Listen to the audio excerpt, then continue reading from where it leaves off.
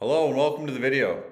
Today I'm going to make a video about junior golfers. I, uh, I train a ton of junior golfers and I have for a while now.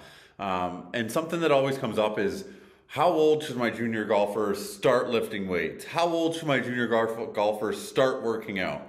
And today I'm hoping that I can debunk some of that by showcasing five drills that I use with a lot of my junior golfers. So when it comes to weightlifting and it comes to working out for juniors, there is a lot of misinformation out there, to be honest. I mean, some people say you shouldn't work out when you're a junior. Some people say you should wait till you're a teenager to start working out. My philosophy is this what is better for a kid to do? Sit in front of a video game all day or be in a controlled environment where they're learning how to do things such as run, throw, skip, jump, things that they should be doing outside in the playground. Unfortunately, with our world today, a lot of kids sit on devices all day or they sit in front of the TV all day. So maybe you shouldn't have worked out years ago when all they did was play outside because they were getting that physical activity and they were getting the ability to climb and run and jump. But today, a lot of our kids don't get that. So I try to bring a safe environment to allow them to explore movement in. And that's what I do with a lot of my junior golfers. What you're gonna see in this video is you're gonna see five exercises that I love to use with juniors. Now, when you look at these exercises, I'm not lifting heavy weights by any means. I am teaching them how to control their body and how to use their body and make something that is transferable to sport and make them athletic. Yes, I train golfers, but I'm creating athletes when I work out with people or when I train with people. So in this video, like I said, I will showcase five different exercises that I love for junior golfers. I hope you like it. Okay, for this first drill, we're gonna do a power drill. So this is a step to lateral bound. So first I'm gonna showcase the exercise and I'm gonna go through um, the key points to think about. Then I'm gonna actually just demonstrate the drill and do the reps that, that are required for what I'm doing here. So the first one, step to lateral bound. So I'm gonna start on one leg. I'm gonna step, and jump. Come back to the start. So I start on one leg. I do a small step and then aggressively bound to the other side and balance on one leg. The whole time I'm jumping, I have a nice and tall, solid upper body. So let's do three reps per side like I would actually um, program for one of my athletes. So one leg up, step, jump. One, back. So you see, this is a powerful movement. Step, jump. Two, Nice and good posture. Step, jump. Three. When we do power drills, we don't want to do a ton of volume. We want to do explosive, short, um, powerful reps. Okay, so the other side. We always do it on each side. So, step, jump. Step to our jump. And you notice when I come across, there is a little bit of a balance challenge, and that's fine. So start on one leg, and jump. So that would be my three reps. So the first drill that I like to use with my junior athletes is a step to lateral bound or a lateral jump. The next drill we're going to utilize is seated jump. So you could do this off of a stair, you could do this off of a chair, you could do this off of your couch, or as I have here, a bench. So we're basically doing jump squats, but I like to teach proper alignment with juniors and really exploding from the ground up first before we go into more squat jumps. So we start seated. The big thing I want to think here is I'm using my arms to drive up and my knees are going to stay in line with my feet. So they're not going to come in or out. So arms drive up, right up, back down, sit back down. That's one rep. So you see I'm using the ground to create force and drive up. So ground, up, right up. I land and I absorb the contact and I sit back down. So now I'm going to show you five reps, okay? Good tall upper body.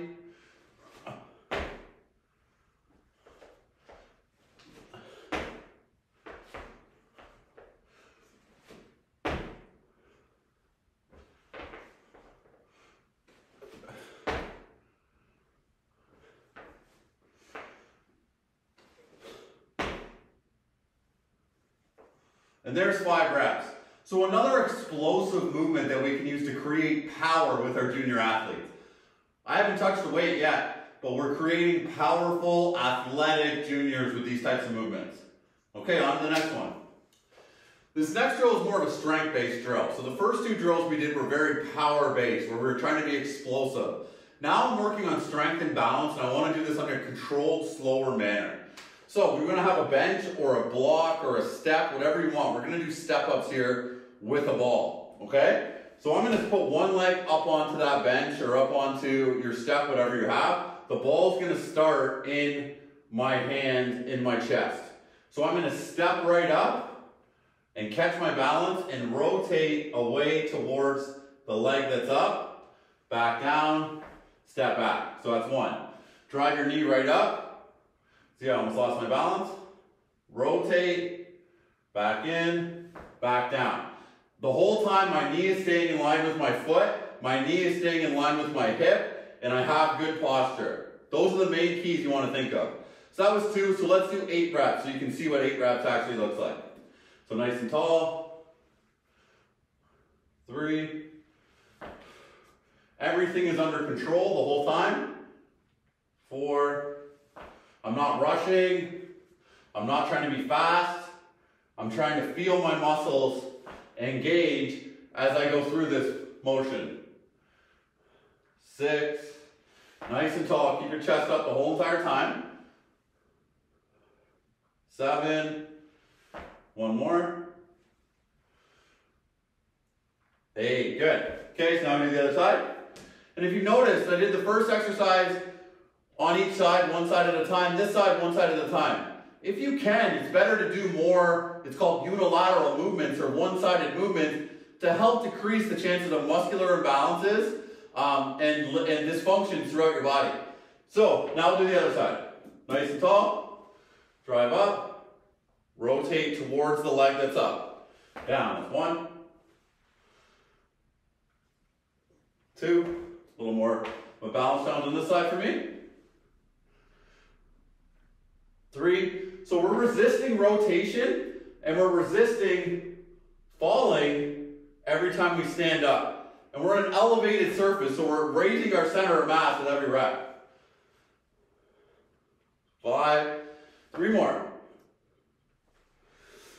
But you can tell this movement is a lot slower than those other movements that I were doing that were way more powerful. So you need power, you need strength, you need mobility, you need endurance, and you need stability. Good. So that's the first strength one. Focusing on our lower body. The next exercise is really going to focus on our upper body. Okay, this next drill is a staple in all my programs, not just junior programs. So this is a bear crawl. So again, we're not really using weight. I've got a band here that we can add a little bit of resistance. This is a very light band. It's very, this isn't really causing too much, but it activates my shoulders and the muscles in my back a little more. I'm going to use the band just around my hands for today. Another way that you can progress this is put a band around your hands and around your feet, okay? With the bear crawl, we're really working on upper body strength as well as core stability.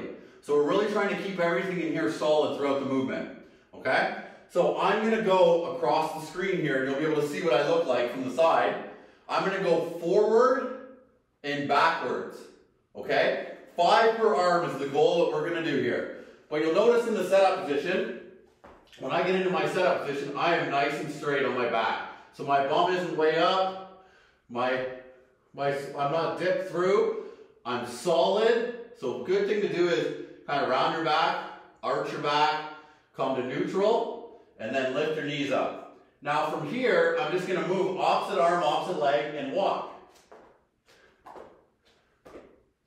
Two, three, three. But you see, I'm still fairly straight in my back. Four, four, five, five. Now I want to go backwards five, too. One, one, two, two. This is a lot harder than the forwards, and it might seem easy. Three, three, but it's a lot more difficult to keep that straight back for, for as you move. Five, five, good, and back to neutral. So that's all that one is, but that is extremely difficult to go back and forth like that. If five isn't enough for your junior athlete, you can increase that to 10, even 15. I've had, I've had athletes walk back and forth across almost the whole gym doing that once they got the endurance and strength to be able to hold that position. but a great drill to develop upper body strength and core stability for a junior athlete with really touching nothing other than a small band. If you don't have this band, obviously you can just do it with body weight and it's still a very effective exercise. So we've done two power drills, two strength drills, and we're gonna finish with a core drill um, to set it off for the fifth exercise. So let's go. Okay, for the last drill, we have a core drill. And a lot of people think of the core as just like our abdominal muscles. But our core is actually pretty much our whole trunk and really bringing in our hip region into it as well. So if you look at me from the side, I'm kneeling. Okay, so I'm not sitting down like this. I'm kneeling, meaning my glutes are active, my core is active, and I'm nice and tall with good posture. So once you're in that position, you want to have a band coming from the side of you. And this is the first time we've loaded up a movement, really. That last one wasn't anything like this. If you don't have a band, start with just moving your arms through this range of motion, being in this kneeling position. It'll still have an effect. So from this kneeling position, my arms start straight across, and all I'm doing is bringing them right through. Here, right through. Not letting this happen as I go. Keeping active here and everywhere here and staying nice and tall. So let's go, eight reps. Three. Blow out as you come across. Five. Six. Seven. Eight. Good. Now let's go to the other side. I'm going to be from the back here, but you'll still get to see how I don't sit down. So nice and tall and keeping everything active. Two, three, four, six, seven, eight. So that's a great drill to really work on core stability and rotation around the upper and mid back. Very, very important for golf. So think about what we just did there. We did two power drills, two strength drills, and a core drill. There's a workout right there. That workout could be completed for the, the amount of reps I set for each one for three to five rounds. That's an excellent workout to start with for a junior golfer. Okay, so that's the video. Thanks for tuning in. As you can see, I created a great workout there with very minimal equipment. So we had five exercises. I would like you to do one to three rounds of that and see how that feels. If you like this kind of movement and you like this stuff and your junior athlete does, connect with me and we can talk about some training options for you. I train a lot of juniors over FaceTime or Facebook or Zoom or whatever, um, whatever online platform you have.